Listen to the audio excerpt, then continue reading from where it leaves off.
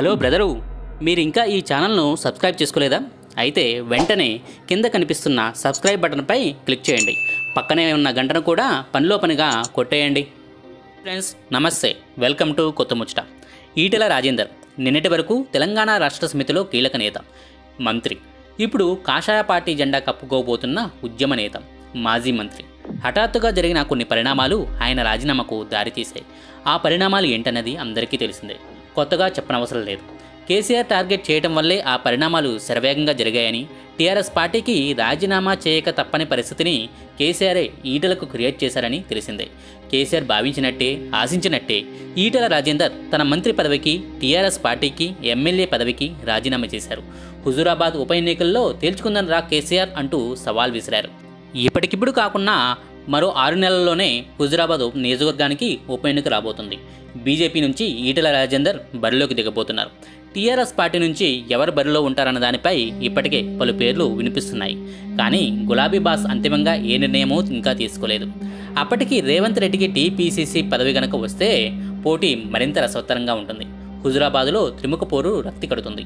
ఈ పోరులో కాంగ్రెస్ చీల్చే ఓట్లు ఈటీలను దెబ్బతీస్తాయా? లేక అధికార పార్టీని దెబ్బ కొడతాయా? అన్నది ఆసక్తికరంగా మారబోతుంది.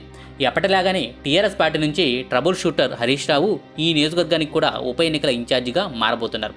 దీంతో పోటీ కాస్త ఒకప్పటి మిత్రులు ఇప్పుడు వైరి పార్టీ నేతలైన ఈటెల హరీష్ మధ్య ఉత్కంఠను రేకెత్తించబోతుంది. అయితే ఈ నేపథ్యంలోనే ఓ కొత్త డిమాండ్ తెరపైకి వస్తుంది. టీఆర్ఎస్లో ఉన్న ఓ పద్నాలుగు మంది ఎమ్మెల్యేలు కూడా త్వరలోనే రాజీనామా చేస్తారా అన్న ప్రశ్న కూడా అందరిలోనూ మెదులుతోంది. ఈటెల బీజేపీ కనుక సరైన రీతిలో ముందుకు వెళ్తే ఆ పద్నాలుగు మంది రాజీనామా చేయక తప్పని పరిస్థితులు వస్తాయని కేసీఆరే రాజీనామా చేయిస్తారని కూడా విశ్లేషకులు భావిస్తున్నారు. ఇంతకీ అసలు కథ ఏంటి? ఆ పద్నాలుగు మంది ఎమ్మెల్యేల రాజీనామా కథ ఏంటో తెలుసుకునే ముందు మీరు ఈ ఛానల్కు కొత్తగా వచ్చినట్టయితే వీడియో కింద కనిపిస్తున్న సబ్స్క్రైబ్ బటన్పై క్లిక్ చేయండి. పక్కనే ఉన్న బెల్ ఐకాన్పై కూడా క్లిక్ చేస్తేనే మా నుంచి వచ్చే మరిన్ని ఆసక్తికరమైన వీడియోలను మీరు మిస్ కాకుండా ఉంటారు. ఇక టాపిక్లోకి వెళ్తే ఈటెల వ్యవహారాన్ని బీజేపీ కనుక సరిగ్గా క్యాష్ చేసుకొని సరైన విమర్శనాస్త్రాలతో కేసీఆర్ను టీఆర్ఎస్ పార్టీని కనుక ఇరుకున పెట్టగలిగితే తెలంగాణలో మరో మినీ సంగ్రామం జరిగి తీరుతుంది. ఒకటి కాదు రెండు కాదు ఏకంగా పదిహేను అసెంబ్లీ నియోజకవర్గాలకు ఉప ఎన్నికలు తప్పక జరుగుతాయి. ఒక నియోజకవర్గానికే అంటే హుజురాబాద్కు ఉప ఎన్నిక జరగాలా? లేక పదిహేను అసెంబ్లీ నియోజకవర్గాలకు ఉప ఎన్నికలు జరగాలా అన్నది బీజేపీ విమర్శనాస్త్రాలు వ్యూహాలను బట్టి ఉంటుందనడంలో ఏమాత్రం సందేహం లేదు. పక్కా ప్లాన్తో వ్యూహాత్మకంగా వ్యవహరించి తెలంగాణ అంతటా ప్రజల్లో చర్చ జరిగేలా బీజేపీ చేయగలిగితే కేసీఆర్ ఇరుకున పడతారు. ఓ పద్నాలుగు మంది ఎమ్మెల్యేలతో రాజీనామా చేయించి తీరుతారు. దీంతో మినీ సంగ్రామానికి నాంది పలికినట్టు అవుతుంది ఇంతకీ ఆ వ్యూహం ఇంటనే కదా? మీ డౌటు? రెండు వేల పద్దెనిమిదవ సంవత్సరంలో తెలంగాణ రాష్ట్రంలో ముందస్తు ఎన్నికలు జరిగాయి. ఆ ఎన్నికల్లో టీఆర్ఎస్ పార్టీకి ఎనభై ఎనిమిది సీట్లు వచ్చాయి. కాంగ్రెస్ పార్టీకి పంతొమ్మిది సీట్లు వచ్చాయి. మజ్లిస్ ఏడు సీట్లలోనూ టీడీపీ రెండు సీట్లను గెలిచాయి. ఆల్ ఇండియా ఫార్వర్డ్ బ్లాక్ పార్టీకి ఒకటి ఇండిపెండెంట్ మరొకటి గెలిచారు. ఆ తర్వాత తెలంగాణ రాజకీయ పునరేకీకరణ అంటూ కాంగ్రెస్ టీడీపీలకు చెందిన పద్నాలుగు మంది ఎమ్మెల్యేలు టీఆర్ఎస్ కూటికి చేరారు. అలా చేరిన వాళ్ళంతా తమ పార్టీలకు రాజీనామా చేయలేదు. పైగా సబితా ఇంద్రారెడ్డి వంటి వారు ఏకంగా మంత్రిగా కూడా పదవిలో ఉన్నారు. గతంలో ఏపీలో చంద్రబాబు అదే తప్పు చేసి చివరకు ఎంతమందిని అయితే వైసీపీ నుంచి ఎమ్మెల్యేలను చేర్చుకున్నారో అంతే సంఖ్యలో ఎమ్మెల్యేలను రెండు వేల పంతొమ్మిది సార్వత్రిక ఎన్నికల్లో గెలుచుకోగలిగారు. ఇప్పుడు అదే కేసీఆర్ కూడా తప్పు చేస్తున్నారు. అయితే తాజాగా బీజేపీలో చేరుతున్న ఈటల మాత్రం తన పదవికి రాజీనామా చేసి పార్టీ నుంచి వెళ్ళిపోయారు. ఓ రకంగా నైతిక విలువలకు కట్టుబడ్డారు. ఆయనపై వచ్చిన అవినీతి ఆరోపణలు అనేవి అప్రస్తుతం. వాటి సంగతి కోర్టులు చూసుకుంటాయి. కానీ విలువలకు మాత్రం ఈటల కట్టుబడ్డారని చెప్పవచ్చు. సరిగ్గా ఈ విషయాన్నే బీజేపీ క్యాష్ చేసుకుంటే కేసీఆర్ను ఈజీగా ఎరుగున పెట్టవచ్చు మా పార్టీలోకి వస్తున్న ఎమ్మెల్యేలను రాజీనామా చేయించి మరీ తీసుకుంటున్నాం. మీ సంగతి ఏంటి మంత్రి పదవిలో ఉన్న సవిత ఏ పార్టీ నుంచి గెలిచారు? వాళ్ళను రాజీనామా చేయించి గెలిపించుకునే తమ్ము మీకు ఉందా? అని బీజేపీ విమర్శలు గుప్పిస్తే ప్రజల్లో చర్చ జరిగి తీరుతుంది. నేను రాజీనామా చేసి మరీ వేరే పార్టీలకు చేరుతున్నా. వేరే పార్టీ నుంచి టీఆర్ఎస్లోకి వచ్చిన ఆ పద్నాలుగు మంది ఎమ్మెల్యేలతో రాజీనామా చేయించి గెలిపించుకునే సత్తా మీకు ఉందా అంటూ ఈటెల కనుక నేరుగా విమర్శనాస్త్రాలను సంధిస్తే కేసీఆర్ టీఆర్ఎస్ ఇరుకున పడుతుంది. ప్రజల్లో చర్చ జరిగి తీరుతుంది.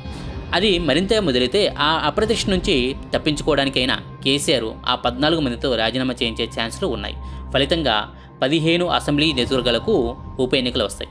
అప్పుడు తెలంగాణలో జరగేది మినీ కురుక్షేత్రమే అనుకోవచ్చు. ఒక్క దుబ్బాక ఉప ఎన్నికే పార్టీల ప్రచారం హోరెత్తింది. జిహెచ్ఎంసీ ఎన్నికల్లో ప్రచారం కొత్త పొద్దులో దొక్కింది. ఇక ఏకంగా పదిహేను స్థానాలకు ఉప ఎన్నికలు కనుక జరిగితే రాజకీయ పరిస్థితులు ఏ రేంజ్లో ఉంటాయో మీరే ఊహించండి. తెలంగాణ సార్వత్రిక ఎన్నికలు జరుగుతున్నాయా అన్నట్టుగా పరిస్థితులు ఉంటాయి బీజేపీ వ్యూహం టీఆర్ఎస్ ప్రతివ్యూహం రేవంత్ దూకుడు నేతల పార్టీల మార్పుడు ఇలా క్షణక్షణం గుట్కంత భరితమే. అయితే ఈ పరిణామం జరగడం మాత్రం ఏమంత ఈజీ కాదనే చెప్పుకోవచ్చు.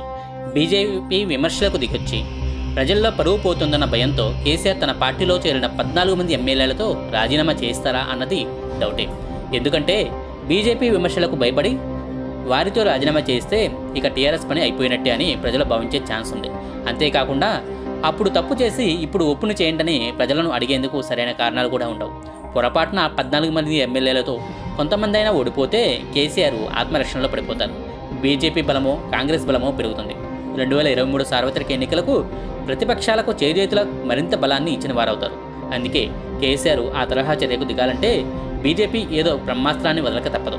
ఇదండి తెలంగాణలో మినీ కురుక్షేత్రం వస్తుందా? పార్టీ మారిన ఆ పద్నాలుగు మంది ఎమ్మెల్యేలు కూడా రాజీనామా చేస్తారా? చేస్తే పరిణామాలు ఎలా ఉంటాయన్న దాని గురించిన వివరాలు మీకు ఈ వీడియో నచ్చితే లైక్ చేయండి షేర్ చేయండి. మా నుంచి వచ్చే మరిన్ని ఆసక్తికర వీడియోల కోసం మా కొత్త ముచ్చట ఛానల్ను సబ్స్క్రైబ్ చేయడం మాత్రం మర్చిపోకండి. Thank you. హలో బ్రదరు మీరు ఇంకా ఈ ఛానల్ను సబ్స్క్రైబ్ చేసుకోలేదా? అయితే వెంటనే కింద కనిపిస్తున్న సబ్స్క్రైబ్ బటన్పై క్లిక్ చేయండి. పక్కనే ఉన్న గంటను కూడా పనిలో పనిగా కొట్టేయండి.